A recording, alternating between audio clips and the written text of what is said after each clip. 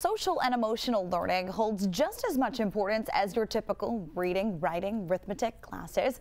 Tonight, we take you to Robert Moses Middle School in North Babylon for the running program that's helping students strengthen their mental health. On the whistle! It's called Runch, Ready, set!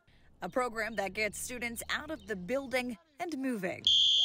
English teacher Katie Foreman started the program a few years ago. I always ran to, um, during my lunch periods um, to really deal with my own stress. She realized stress management was something the students could benefit from as well. All right, guys, you can follow behind him. Let's go.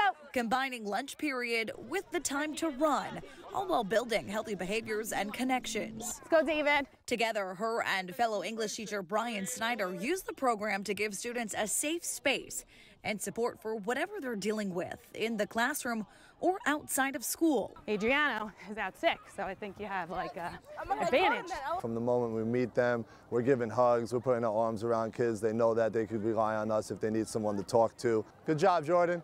Over the years, the program has not only helped students academically, but really socially and emotionally. Nice piece. Anyone could join us.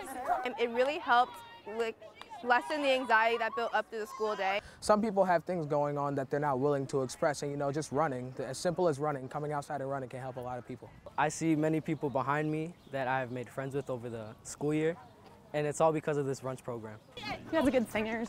And with every lap comes a lesson You'll be all right. of stress management, self awareness, and decision making. And I say all the time, even if- even if you've never met someone before, just tell them you love them, you know, ask them how they're doing, make their day a little bit better. If I can impact or light the light of um, one student, that's a win. But to do many, it's just a privilege, really.